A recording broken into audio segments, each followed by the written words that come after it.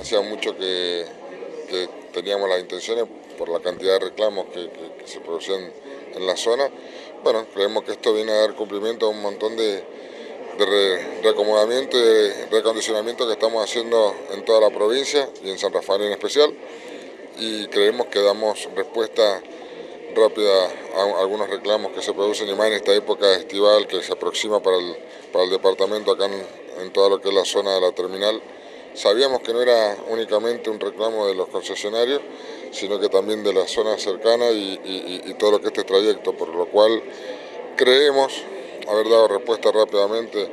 a, esto y bueno, gracias a la intervención de la gente de acá de San Rafael, más a la voluntad y todo lo que pone la Dirección General de Policía, estamos tratando de dar una solución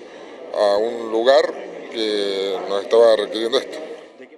Personal afectado eh, es un efectivo las 24 horas, un efectivo las 24 horas, el cual tiene lo principal un medio de comunicación que es un HT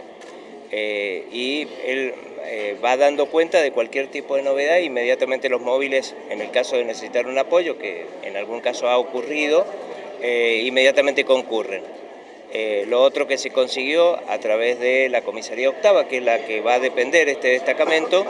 es eh, que se ha logrado una mejor tecnología,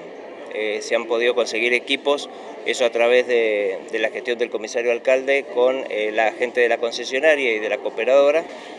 todos aportando este, nosotros, en el caso nuestro, lo que más hemos podido y ellos lo que es la tecnología o el medio para colocar. Por ejemplo, si hay posibilidades de denuncias online, se puedan hacer, pedidos de paradero que la justicia tenga, eh, se van a tratar de pasar rápidamente, casi en tiempo real, para poder verificar en las boleterías a ver si esa persona la podemos localizar. Esos, entre otros este, servicios que se van a prestar.